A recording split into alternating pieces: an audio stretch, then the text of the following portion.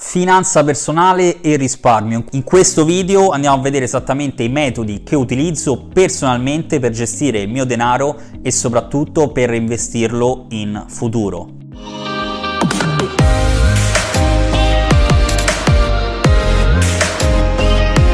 E benvenuti gladiatori, Stefano Montana qui per voi oggi con un nuovissimo video e decisamente importante sulla finanza personale, su come risparmiare, gestire e poi investire il proprio denaro che si è generato con tanta fatica e tanto sudore che giustamente non va sperperato. Ma first thing first, prima di tutto un bel mi piace sotto questo video in questo momento per caricare l'algoritmo di YouTube al massimo e soprattutto iscriviti al canale proprio adesso in questo momento se non l'hai ancora fatto e attiva la campanellina delle notifiche per ricevere aggiornamenti futuri sui prossimi video bomba che usciranno. Quindi partiamo subito, finanza personale. Innanzitutto, tralasciando il fatto che eh, la società, le scuole, l'università non ti insegnano assolutamente nulla di finanza personale e gestione del denaro, iniziamo col dire che prima di tutto devi saper generare denaro. Quindi tralasciando tutto questo, la cosa più importante in assoluto per quanto riguarda la finanza personale è prima di tutto guadagnare. Ragazzi, se voi non guadagnate, sembra un discorso molto stupido, ma non lo è. Prima di tutto dovete imparare a guadagnare, possibilmente online, perché avete molti più vantaggi, ma in generale le persone non capiscono che se tu hai, intendo guadagnare molto di più, se tu hai uno stipendio medio di 1500 euro, 2000 euro, ok, molto probabilmente magari tu hai la casa, ok, non paghi le bollette, eccetera, eccetera, non so la tua situazione specifica, ma tantissime persone, soprattutto con uno stipendio normale, non riescono a risparmiare, oltre al fatto che hanno le mani, tra virgolette, bucate, non riescono a, a risparmiare perché spendono tutto quello che hanno in principalmente per sopravvivere, ok? Quindi tu sopravvivendo e spendendo tutto quello che hai non può assolutamente permetterti di risparmiare, perché quindi in parole semplici, se tu sei costretto o costretta a spendere tutto quello che guadagni mensilmente in eh, beni di prima necessità, ovviamente non hai la possibilità di risparmiare tanto, ok? Magari 100, 200, 300 euro al mese è già qualcosa. Sicuramente se quello è il tuo stipendio uh, e ti riesce di salvare qualcosa va benissimo all'inizio, comunque hai bisogno prima di tutto di un'entrata extra, se è possibile più entrate extra per ovviamente uh, incrementare il tuo bacino di entrate, ok? Perché devi assolutamente cercare di guadagnare di più. Non è un discorso stupido, ragazzi, è il primo step. Ripeto, questo è il primo step in assoluto per raggiungere la libertà finanziaria attraverso la cultura, proprio lo sviluppo della finanza personale. Ora, tutti gli altri metodi per guadagnare online li trovate sul mio canale, su montanabusinessonline.com, ma quello che dovete capire è che avendo uno stipendio fisso, avendo comunque un'entrata fissa, non parlo solamente di uno stipendio magari da un lavoro, ma in generale di un'entrata fissa che è molto vicina al, alle spese di sopravvivenza, eh, ragazzi è quasi, non dico impossibile, però è molto di, più difficile ovviamente risparmiare per poi reinvestire quel denaro. Ora, passiamo al livello successivo, ovvero una volta che voi avete magari un tesoretto di 1000 euro al mese, ma una volta che abbiamo questi soldi, ok, stiamo guadagnando, abbiamo più entrate, come possiamo non sprecare tutto questo denaro? È molto semplice, ci eh, praticamente stabiliamo automaticamente, autonomamente delle regole che non possono essere veramente sono sacre non possono essere infrante in quanto quelle regole ti permetteranno di risparmiare e saranno veramente la base della tua finanza personale. Ora, prima regola in assoluto, bisogna sempre mettere da parte almeno non dico un terzo, magari un quinto, un quarto di tutto quello che guadagnate, ok? Lo mettete da parte, proprio aprite un altro conto, un conto online magari uh, N26, Revolut, questi conti online qui, che sono comunque conti affidabili a N26, comunque una banca, sono comunque conti che non dovete toccare, ok? Ci sono addirittura certe app... Uh, adesso non mi viene in mente il nome, ma ci sono addirittura certi conti online che ti creano il, uh, penso proprio Revolut, ti creano proprio una specie di conto, una specie di salvadanaio, di piccola cassetta di sicurezza dentro l'applicazione proprio del vostro smartphone che ti permette di salvare quel denaro e non toccarlo, ok?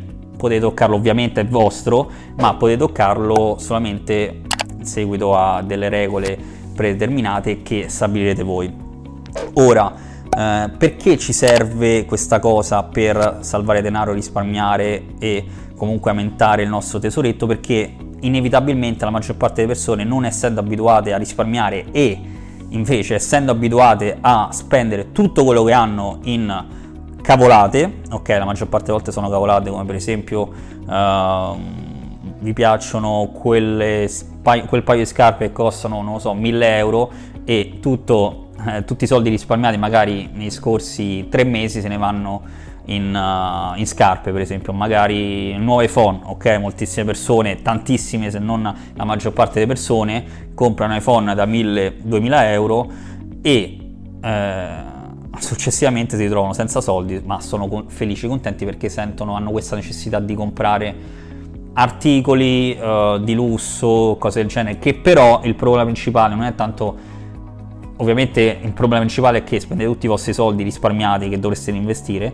ma che eh, quel oggetto o quell'iPhone, quelle scarpe non ti generano ricchezza, anzi semplicemente ti fanno perdere ricchezza. Tu comprando quelle cose sei meno ricco e di conseguenza tu quei soldi li hai persi, ok? Sì, lo puoi rivendere, eccetera, eccetera, però il concetto chiave è che quell'oggetto non è in grado di generare quell'entrata che tu hai bisogno di ricevere in maniera costante, ok? Quindi non, non, è un business, non è niente, ragazzi, state solamente buttando soldi per qualcosa che in verità neanche vi serve, non vi serve per sopravvivere, non vi serve per sopravvivere, uh, non vi serve a niente di reale, di concreto, magari sì, per farvi uh, fighi o cose del genere con l'iPhone nuovo, eccetera, eccetera, però state semplicemente andando contro l'insegnamento base della finanza personale. Quindi poi se voi vi ritrovate un giorno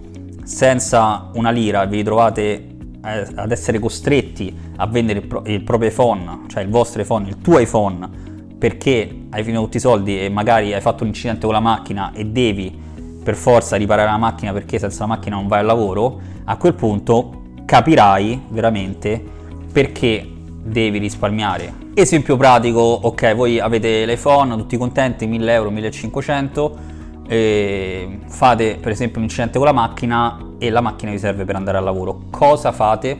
Siete costretti, dato che non avete risparmi perché avete spesi tutti gli scorsi tre mesi per l'iPhone, eh, ovviamente siete costretti a vendere l'iPhone a un prezzo minore e eh, riparare la macchina. A quel punto Sicuramente la storia l'avete capita, ma perché non capirla prima? Perché ragazzi queste cose succedono e succederanno, non è che viviamo nel mondo perfetto delle favole dove non succede niente, è tutto a posto. Soprattutto succederà, perché succederà, ma non deve succedere per forza. Quindi possiamo evitare tutto questo semplicemente salvando un po' di denaro ogni singolo mese, ok? Come un salvadanaio, andate lì, e eh, fate un bonifico, salvate il denaro mese dopo mese e vi accorgerete che riuscendo a risparmiare quell'entrata ogni singolo mese capirete veramente quanto sarete più ricchi, ok? Già dopo un anno, ragazzi, dopo un anno riuscite a salvare, in base ovviamente dipende quanto guadagnate, quanto riuscite a salvare, ma vi assicuro che già dopo un anno riuscite a salvare abbastanza per iniziare un business come per esempio e-commerce, dropshipping, quello che volete, un business online che veramente vi farà fare il salto di qualità per quanto riguarda la finanza personale e la libertà finanziaria. Quindi non essere più legati al posto di lavoro, non essere più legati a un capo o un, una vita, un lavoro che non sopportate, ma semplicemente fare quello che volete, dato che avete un business vostro e potete gestirlo da casa, da qualsiasi parte del mondo, dalla spiaggia di Bali, quello che volete, ok? Quindi questo è un ragionamento che dovete fare subito, fin da adesso, ogni singolo mese, mettete là un terzo, un quarto, un quinto, in base ovviamente alle vostre esigenze e non sprecate assolutamente soldi per cavolate che non vi servono, ok? State lì, state davanti al negozio di scarpe, davanti al negozio della Apple, vedete telefono, lo volete, dite ok, ho questo telefono, funziona, mi serve veramente per guadagnare di più, questo telefono mi serve essenzialmente per migliorare la mia vita in maniera proporzionale ai guadagni oppure no? Questa è la domanda che devi porti ogni volta che stai spendendo più denaro di quello che dovresti. Ovviamente ragazzi è proporzionale a quanto guadagnate, quanto spendete. Ovviamente se eh, avete un lavoro da 1000 euro al mese e eh, dovete pagare l'affitto, le bollette da mangiare, sicuramente vi rimarrà praticamente niente in Italia, considerando poi in generale dove vivete, Milano magari costa di più eh, rispetto ad altre città, ovviamente Milano e Roma costano di più, però avete capito il ragionamento mi raccomando, non sprecate soldi in cavolate. Non è un discorso che sto facendo così, perché la maggior parte della gente si ritrova senza una lira esattamente per questa ragione, perché spreca soldi per le cavolate più assurde senza che veramente eh, ne abbiano bisogno. Quindi, ragazzi, se voi veramente volete cambiare la vostra vita, dovete iniziare a cambiare voi stessi e il vostro stile di vita, ok? Lasciate fuori tutto ciò che non vi serve. Non solo oggetti, parlo anche di persone, ma questo è un argomento di, uh, sarà un argomento di un altro video. Sicuramente il primo step è liberarsi di oggetti o di desideri che non ci servono direttamente, non ci fanno guadagnare direttamente a noi. Ora, con i soldi che abbiamo risparmiato, che cosa ci facciamo? Abbiamo diverse opzioni. Prima di tutto, se riusciamo a, ottenere un bel gruzzoletto, uh, sicuramente la migliore opzione possibile, immaginabile, è investire quel denaro in un business proprio, in modo tale da generare entrate sempre più grandi, effetto palla di neve, effetto compound, proprio come succede nel trading online, nell'investimento in stock market, che adesso andremo, andiamo a spiegare, però il discorso è molto semplice, la miglior via in assoluto per Uh, il miglior modo in assoluto per uh, veramente essere liberi finanziariamente è avere un business proprio che genera entrate possibilmente automatiche, automatizzate, il famoso passive income che in verità ragazzi esiste, però sicuramente non all'inizio se non avete soldi o magari avete iniziato un business, sicuramente all'inizio ragazzi la strada sarà sempre in salita, però piano piano la salita diventerà sempre più facile da superare.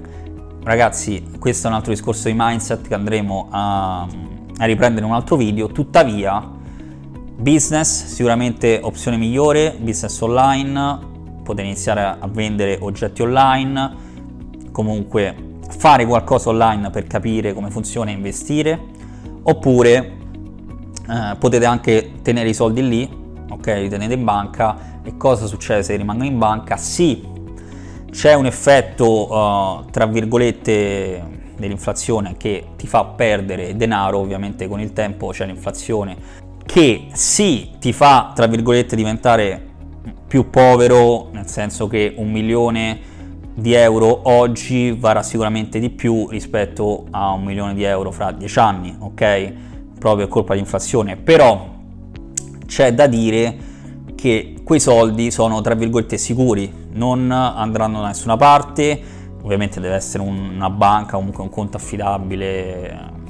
Il materasso non è il massimo, se ne mettete i soldi sotto il materasso non è il massimo della vita, soprattutto con l'andazzo che c'è adesso per quanto riguarda i contanti, cercheranno sempre più di eh, generare eh, entrate, transazioni, tutto online perché vogliono sempre più controllare eh, le persone, i conti, i soldi, quindi sicuramente stiamo andando in una direzione sempre più online, soprattutto per quanto riguarda le transazioni eh, monetarie, tuttavia dobbiamo sempre prendere in considerazione che lasciando i soldi lì andranno a perdere di valore.